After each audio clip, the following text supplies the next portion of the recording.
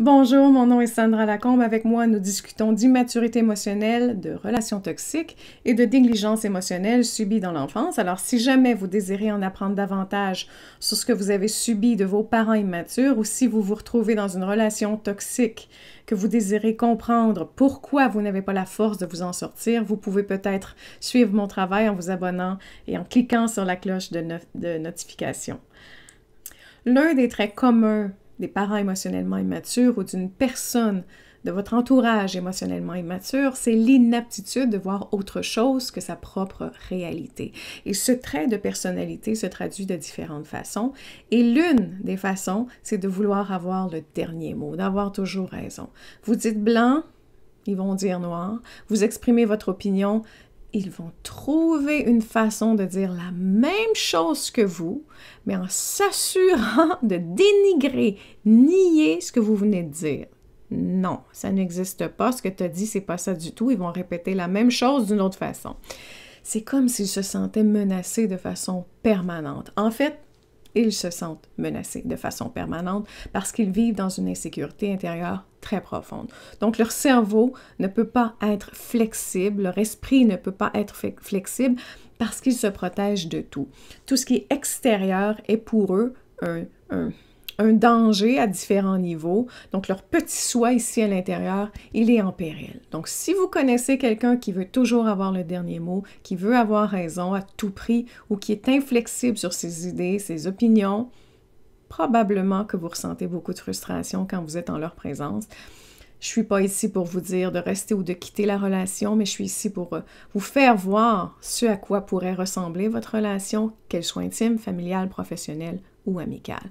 Souvent, une personne inflexible, elle est pauvre intérieurement, donc elle doit trouver sa richesse à quelque part parce qu'elle n'arrive pas à la voir en elle, cette richesse. Et l'une des façons de ne pas se sentir pauvre, de ne pas se sentir euh, misérable ou moins bon qu'une autre personne, ben, c'est en se donnant le sentiment d'être inébranlable ou d'être d'une certaine façon supérieur que les autres. Et le problème avec l'idée d'avoir le sentiment d'être supérieur, ben, c'est ce que c'est le contraire. Donc ils sont forcés de trouver une façon pour ne pas se sentir inférieur, oublié, moins bon ou pas écouté. Donc vous comprendrez que ça provient évidemment de leur enfance, probablement. On peut imaginer. On peut pas deviner ce qu'ils ont vécu, mais on peut s'imaginer que cette immaturité provient de l'éducation. Donc, c'est la toxicité familiale qui est en cause ici. Vous allez souvent entendre dire de ces gens-là, oh, moi, je suis comme je suis, c'est tout. C'est apprendre ou à laisser. J'ai aucun problème avec moi-même. On a tous des défauts. Si tu penses que tu es meilleur que moi. Donc, ils, ont de la difficulté à se remettre en question. C'est comme si leur esprit refusait de s'associer d'une quelconque façon à leur vulnérabilité, à ce qui est à leurs défauts. On a tellement tapé sur le clou qu'ils sont moins bons qu'eux qu'aujourd'hui ils doivent compenser d'une autre façon. Donc, laisser aller, apprécier les opinions des autres, les troubles profondément parce qu'ils n'ont pas acquis de sens profond de sécurité intérieure.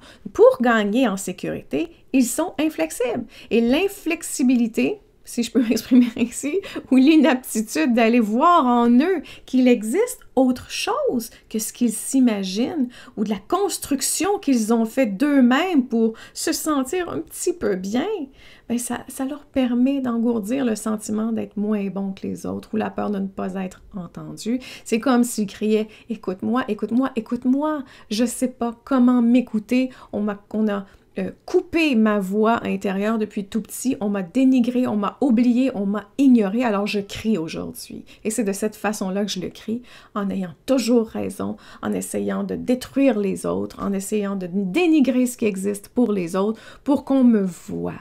Alors ils ne peuvent pas entendre la voix d'une autre personne sans se sentir misérable ou attaqué, ou je devrais dire menacé, peu importe le mot qu'on utilise. Évidemment, j'utilise toujours des gros, des gros mots pour pour se mettre à la place d'une autre personne. Parce que oui, souvent c'est ça, à des niveaux cachés. Donc, on pense que se sentir misérable, ça veut dire s'effondrer sur le sol, mais non, on ne veut pas montrer sa vulnérabilité, alors on la cache, cette misérabilité-là, si je peux le dire comme ça, on la cache. Voilà. Et qu'est-ce qui reste à faire dans un cas où la menace, elle est trop grande? Ben, c'est de faire réfléchir la problématique sur l'autre personne.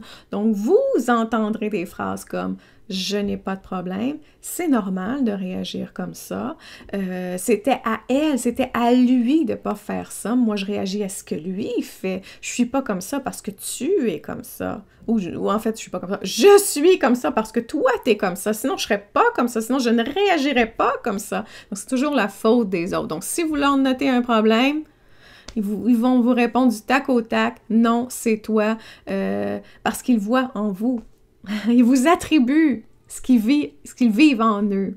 Donc, il sera, la personne est incapable de retourner en, elle ou en lui si c'est un homme pour s'analyser, se remettre en question au besoin. C'est trop difficile à faire parce que ça demande, vraiment une forme, j'allais dire humilité, mais pas tout à fait. C'est une forme euh, vraiment de vulnérabilité, de dire hum, hey, je suis pas parfait, hein?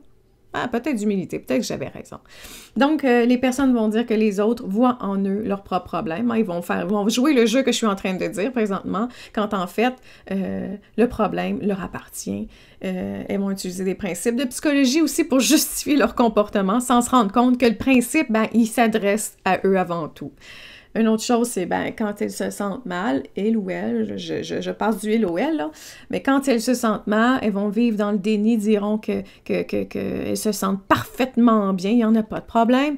Donc, les personnes ont appris à enfouir leurs émotions, leurs sentiments pour vivre dans une bulle de prétendu bien-être qui camoufle, en fait, un grand désarroi. Donc, si on résume, le fait d'être incapable de voir ses propres défauts, de se remettre en question, euh, ben, ça a une conséquence importante si vous êtes du genre à vouloir grandir, à vouloir évoluer. Et la conséquence, c'est que vous vous retrouvez dans une relation qui risque de stagner, qui va stagner en fait, qui stagne présentement parce que la personne refuse d'évoluer. C'est aux autres d'évoluer, pas à elle. Non, elle va pas changer, elle. Moi, moi je, non, j'ai pas de problème. Parce qu'ils sont vulnérables ben, vulnérable, je devrais dire. Pas vulnérable, donc j'accepte ma vulnérabilité, mais vulnérable dans le sens où je suis trop fragile. Donc, on est coincé dans un ego qui est souffrant. Donc, vous risquez d'être souvent frustré parce qu'avec raison, la personne vous refuse parfois ou souvent vos émotions, vos opinions, vos connaissances, vos sentiments, les jugeant exactement ben, faux, inadéquats ou pire encore, ridicules et ce toujours en réaffirmant combien ils ont raison et que vous avez tort pour chaque petite hmm, niaiserie gogos. Comme on dit en bon québécois. Un nouveau mot pour vous, les Européens, gogos. Donc, je vous donne peut-être trois suggestions pour vous aider à mieux vivre avec ce genre de personnes. La première, c'est je vous suggère d'apprendre à ne rien prendre personnel et ce sera difficile puisque c'est frustrant, mais ça n'a rien à voir avec vous mais avec le sentiment intérieur que ces gens ressentent. Euh, ils ont un sentiment d'infériorité qui est très important. La deuxième chose, ayez une discussion franche sur ce que vous souhaitez de la relation et maintenez vos limites. Si vos limites personnelles sont érigées à partir de valeurs qui proviennent du cœur, ne les laissez pas tomber pour satisfaire une autre personne qui a probablement des limites personnelles construites à partir de l'ego. La troisième chose, je vous dirais, c'est selon ses réponses sa réaction, selon ses actions, de prendre une décision sur ce que vous voulez faire pour vous afin de vivre une vie qui vous ressemble et que vous souhaitez. Si la personne vous dit je suis comme ça, je ne veux pas changer, si vous restez dans la relation en vous disant ah, je sens que si je lui parle, il va changer. Non, il, il, a, il a au moins été assez honnête pour vous dire je ne vais pas changer. Il vous le crie quand il vous dit, quand il vous dit ça. Quand il vous dit toujours je n'ai pas tort, il vous dit qui il est. Il ne vous dit pas qui vous êtes, ce que vous devez faire. Il vous dit voici, je suis trop borné pour changer, je suis trop borné, insécure, insatisfait, euh, peu importe, malade, que je tremble dans une folie, traitez ça comme vous voulez. Il ne peut pas effectuer le changement. Donc prenez euh, vos, vos, euh, vos, vos, pas vos idées, j'allais dire, prenez vos décisions, voilà.